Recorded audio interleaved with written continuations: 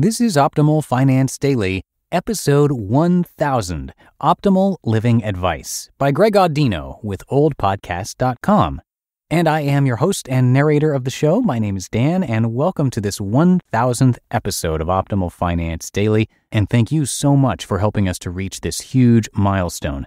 Now, this is where I typically narrate an article for you every single day of the week on personal finance, but today's a special episode, of course, with it being the 1000th.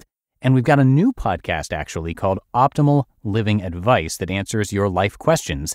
And we thought that today we would share an episode with you right here. You can find and subscribe to the show by searching for Optimal Living Advice in the podcast app of your choice or wherever you're listening to this. So please check that out, and you can also actually send in your own questions to be answered on the show.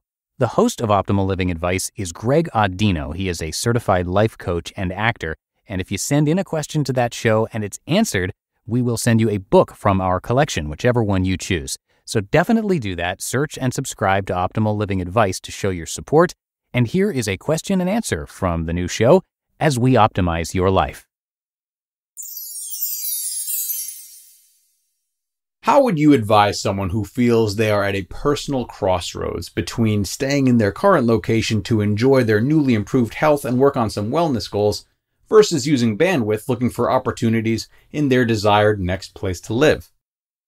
I love questions about personal crossroads. They, they always throw me for a loop, and I put off answering them for a little bit because I get nervous about telling people the wrong thing. uh, no, no, it's cool. The, this question in particular actually sounds like a wonderful crossroads to be at. So let me start by saying congratulations on your newly improved health and what seems like a really strong desire to keep growing as a person. These are all very wonderful things. Of course, I don't know anything about you beyond this question, but it seems to me you have a really growth based mindset, as every aspect of what you said is laced with growth and expansion. And why not? It's wonderful to be excited about new things and new opportunities, and I'd bet this mindset has already enabled you to make wonderful changes in your life thus far. But when it comes to making major life decisions like living in a new place and taking on a new job, having a really forward moving mindset can sometimes get us into trouble.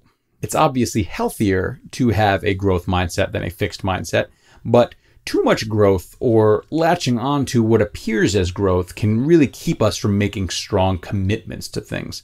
Moving is a really great example, as it's one of life's biggest changes and upheavals. I want you to ask yourself, what you really want out of this move. Why do you desire to live in this new place? What is the motivation behind it? How do you feel now about any moves you've made in the past? And what have you learned from them? So, whether your answers to these questions leave you a little uncertain or maybe even leave you more inspired to move than before, it's really crucial to understand that moves or any major life changes only solve so many problems. And for each one they do solve, a new, unique problem will come up. I am in no way dissuading anyone from making a move. They can be wonderful, and the changing of our environment can be a huge catalyst for lifestyle changes. But it should not be seen as a means to solving deeper problems that require more focused attention, which is how it is seen a little bit too often for me constantly seeking bigger and better changes in life will make us more and more susceptible to dissatisfaction with anything, leaving us with too few commitments and a really hard time feeling capable of generating new commitments. Okay. This is how too much of a growth mindset can get us into trouble. The more we see how we can improve, the harder it is to see the good in what we already have, or at least how we can extract that good. For those of us who make wellness a regular practice in our lives, God bless us, uh, this is something we run a higher risk of. So much desire and so many options, they can really cripple us as we hop from hopeful solution to hopeful solution, waiting for the one that keeps us constantly happy, which we won't really find. But in spite of that perhaps grim and uh, morbid sentiment, no, I am not saying you shouldn't make this change. Just be mindful of this change, as I'm sure you already are if you're sending in this question. It's so easy to get clouded with emotion, though, and seek justification in our impulses. So, uh, I'm going to give you an exercise I use with my coaching clients a lot that I really enjoy, and I think they really enjoy. so, what I'm going to have you do is create a pros and cons list for the place you already live in and for the place you might like to move to. Now, each side might have some of the same pros and cons too. For example, perhaps you can enjoy your newly improved health and work on wellness goals in both your current location and the place you're thinking about moving to. Perhaps you can pursue new opportunities in both of those places, and it doesn't have to be one or the other.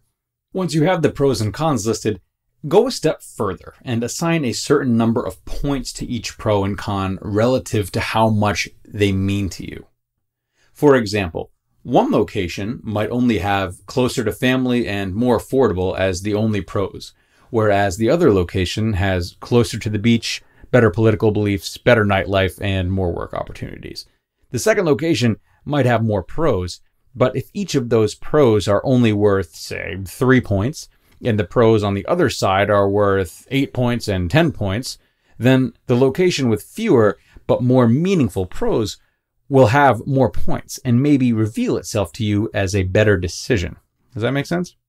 Now, ideally, you'll be able to fit all of your non negotiable desires into one place. That would be great.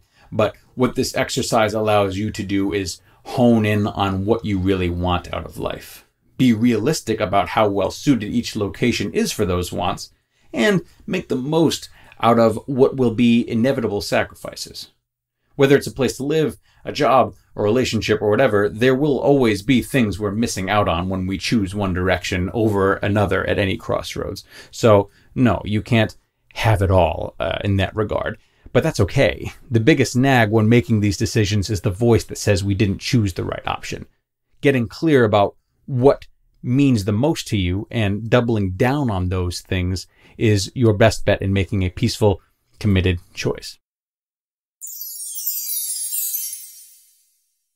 All right, so that was a question and answer from one of Greg's episodes, and it would mean a lot to us if you would check out and subscribe to that show as well. It's Optimal Living Advice, and you should be able to find it wherever you're listening to this show. Thanks so much for doing that and for your support and for being right here at Optimal Finance Daily for 1,000 episodes. We definitely could not have made it this far without you coming back each and every day to listen. And that's going to do it for today, and I'll see you back here tomorrow for the Friday show, where your optimal life awaits.